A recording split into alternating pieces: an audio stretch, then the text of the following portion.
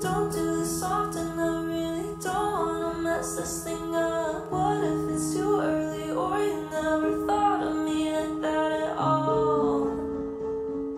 Could you make the move? How could I say something?